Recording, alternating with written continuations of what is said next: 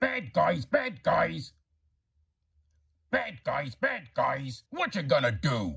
What you gonna do when the heroes get you? Bad guys, bad guys. Bad guys, bad guys. You can't get away. You can't get away because the hero saved the day. Hey, you bad guys. What's the matter with you? What do you think you're doing? You're not so smart. You can't run and hide, not with heroes like these on the case. It's time you learned your lesson. And believe me, bad guys, this is for your own good. I'm here, as Babs Bunny used to say. Another movie review with your old Uncle Padrino. Now, those bad, bad, bad, bad boys that make some of you feel so good, right? I figured that.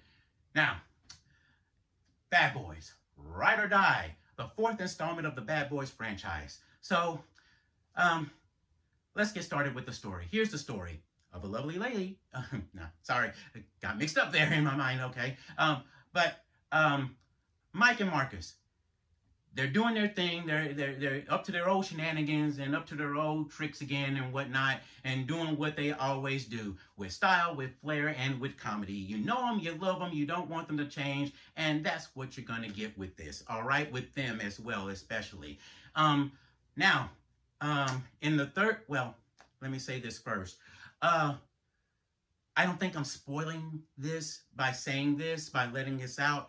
Uh, but uh, the the third movie, uh, Ride or Die, uh, not Ride or Die, but um, For Life. Uh, it's been out for mm, around two years now, so you should have watched it by now. So I don't think I'm ruining anything by saying anything about this. But anyway, just in case, as Archer would say, spoiler alert. Um, Captain Howard dies in the third movie. All right. Now, in this movie, uh, the Miami PD and the boys find out that Captain Howard was associated with the cartel. Um, and the boys aren't buying it, they don't like it, and they don't believe it. So uh, to honor his name and and his memory, uh, they set out to clear his name. Uh, by doing so, they get roped into an adventure uh, with lots of action and comedy and things like that.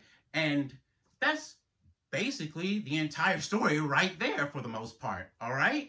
Um, there really isn't any more to it. Uh, eh, eh, they they are fugitives on the run, and and I mean you've watched the trailers. I'm not spoiling anything. You've watched the trailers. You've watched the commercials the tagline is even here in the in the movie poster all right? So i'm not spoiling anything by by saying that all right? But this is what you're getting in the movie in the movie as far as the story goes okay?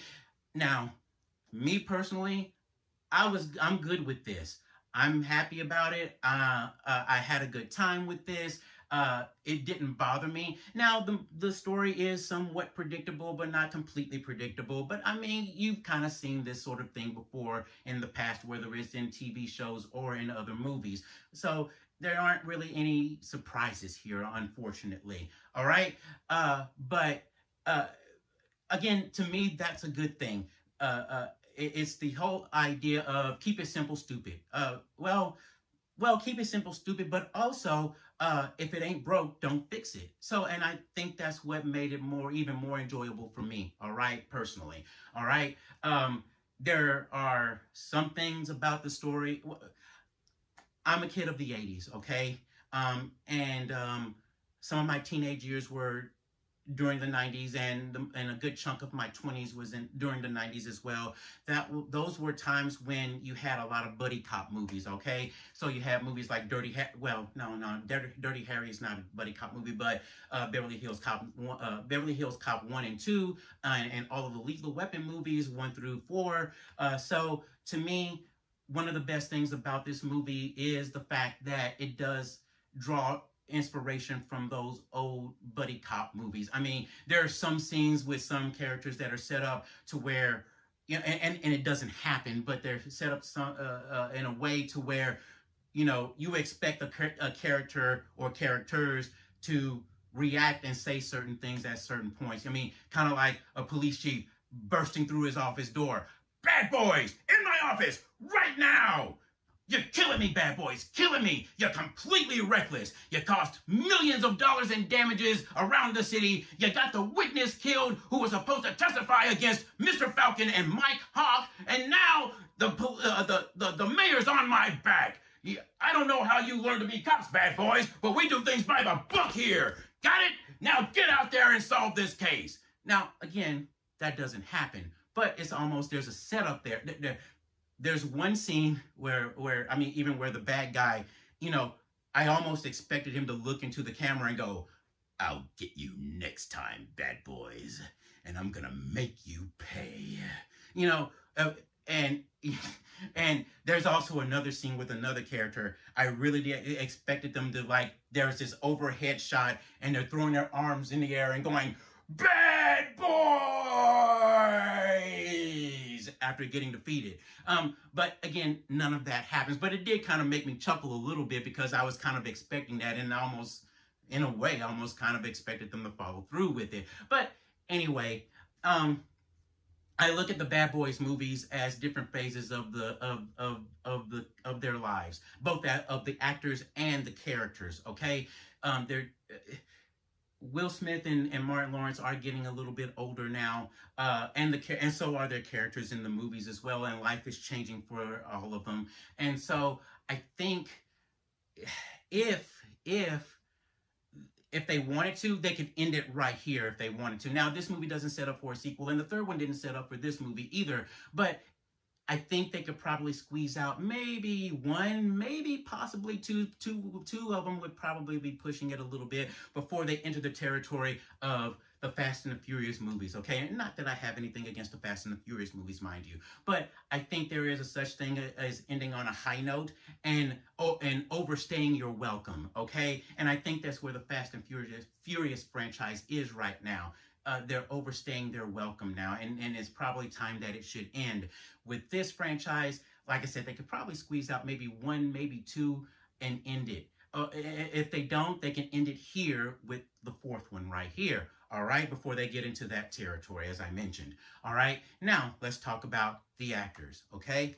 Um, Will Smith, um, I admit uh, I lost some respect for him after the whole Jada after the whole Jada Pinkett Jada Pinkett Smith debacle and after the whole incident with Chris Rock at the Oscars. Okay, now that doesn't mean that I don't still like him, but I did lose some respect for him. Um, in this case, you know, I can separate the art and separate the art from the artist, okay?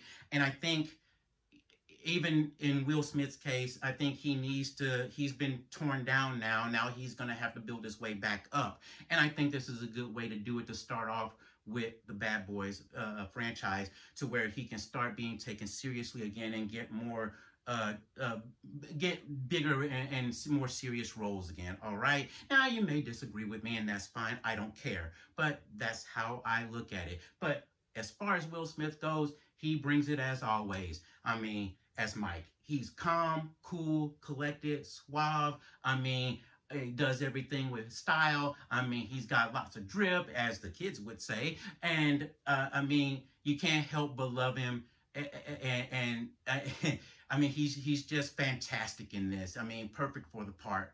Okay, and same thing with Martin Lawrence. Martin Lawrence is plays a straight man to Will Smith's character. So uh, Marcus, um, but uh, Marcus, I mean Martin Lawrence, he's the opposite end. He brings the comedy. He he he brings the the I guess the I guess it would be the Chucky factor. I would call it the Chucky factor. Not Chucky the doll from Child's Play, but Chuckie from Rugrats, who's always second guessing things and has doubt and whatnot. Um, he's bringing the comedy and he's uh, bringing, you know, the, you know, the woo-sa and, you know, and also he's the one who's always getting hurt in some form or fashion as well, unlike Mike. So, I mean, the two work extremely well together. The chemistry between these two are is is fantastic. It's it when you think about it, the first two movies directed by Michael Bay came out in the early 2000s, and these two movies that that we have now uh, directed by a duo. I can't remember their names right now off the top of my head, but it's during that span, it's been about mm, what maybe 15 to 20 years now since they've worked since uh, uh, Will and Martin worked together, and for the third movie when they came back it's it's almost like they they never missed a beat. They just picked up right where they left off and like nothing happened at all between the two of them. I mean it was like putting on an old pair of shoes uh, uh comfortable shoes that you used to wear way back when and just feeling comfortable and i think that's what's so great that also adds to this movie as well to the past two movies actually so i think I think that's one of the best things about this movie. The story is great, and again, not perfect, but Will Smith and, and Martin Lawrence, they're great as well together. Um, uh, the way they bounce off of each other, the way the quick whips and things like that. I mean, just awesome together. Okay, all the other actors do their part and pull their weight as well.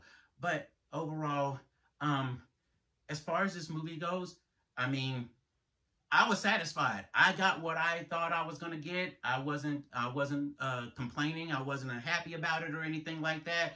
Uh, I got what I wanted out of it. And I think you will too. Now, of course, it's a rated R movie, so you can't take the kids. I mean, this is going to be something that you're either going to watch by yourself or that you're going to go take your spouse and go watch with, with each other, okay? But, I mean, other than that, I mean, that's all there is to this movie. It's pretty straightforward, in all honesty. I mean, it's nothing convoluted. It's nothing that that's too so complicated that you had to go watch the first three movies. I mean, it kind of helps a little bit, but I mean, you don't you don't have to watch the first three movies. You can jump in and, and watch this movie without any knowledge, and I think get some enjoyment out of it. Um, I think it still helps, because you, you know to get to know the characters. I that's probably the best reason to watch the first three movies as well and to get be caught up to an extent.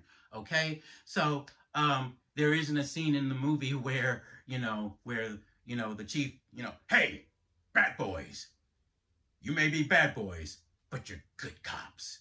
Glad to have you on the force. So i mean again uh there's not there really isn't too much to say about this movie other than uh it's a good movie. My verdict full price admissions, okay? Um, and speaking, you probably can't see my shirt because they're down below, but here are the bad boys right here that I'm wearing, all right? So, uh, that's it for me. And, uh, Stan, take us out.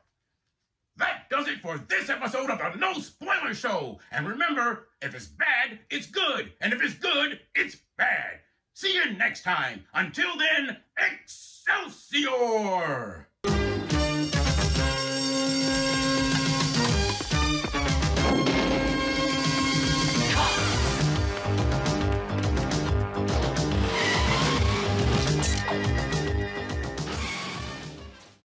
That noble nincompoop He-Man got me again. Eh, doesn't matter. I'll be out in less than 24 hours anyway. I usually am. Sometimes I'm out before the kids go to school. Sometimes I'm out by the time kids come home from school. Depends. City to city, state to state, country to country, it varies, you know. If I'm in here on Friday, I'll definitely be out of here by Monday, that's for sure. Some of us, though, they're in here for an entire week. Man, that's gotta be rough. But they're definitely out by Saturday morning. You know, that's kind of how the schedule works. But that's how things run around here. Just gotta take things one day at a time, you know?